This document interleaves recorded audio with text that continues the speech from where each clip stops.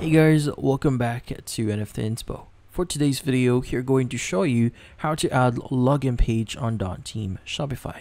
So if you're interested, let's start tutorial. In this case, for you to add the login page on your Shopify store here, what we need to do is we need to basically access a few settings. So at the bottom left, you want to see or click on the settings option. And from here, you want to go ahead and first go to customer accounts. Now from here, what we need to do is we need to basically change a few things here.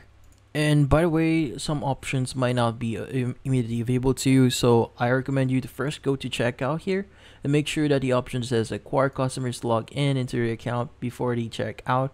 So that when we actually go back, or they say let's go and click on save first. When you go back to customers accounts, you should be able to have this option here. So in this case, you could go and choose which version of customer account you uh, account to link to. So you have the new option and the classic one. So a new one actually customers log in with a one-time code sent to their email, or the classic one, which in this case creates uh, customers create an account and log in with their with their email and password. So either ways, you go and choose whatever here.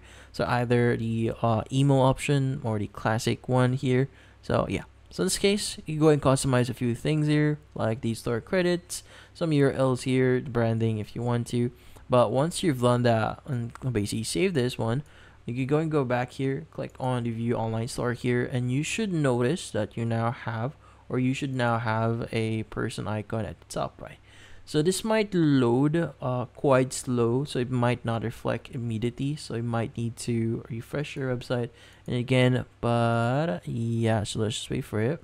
And as you can see right now, we have the person icon. in this case, whenever you click, they click on it, they should now have the option to log in into their account. Now in this case, that's about it.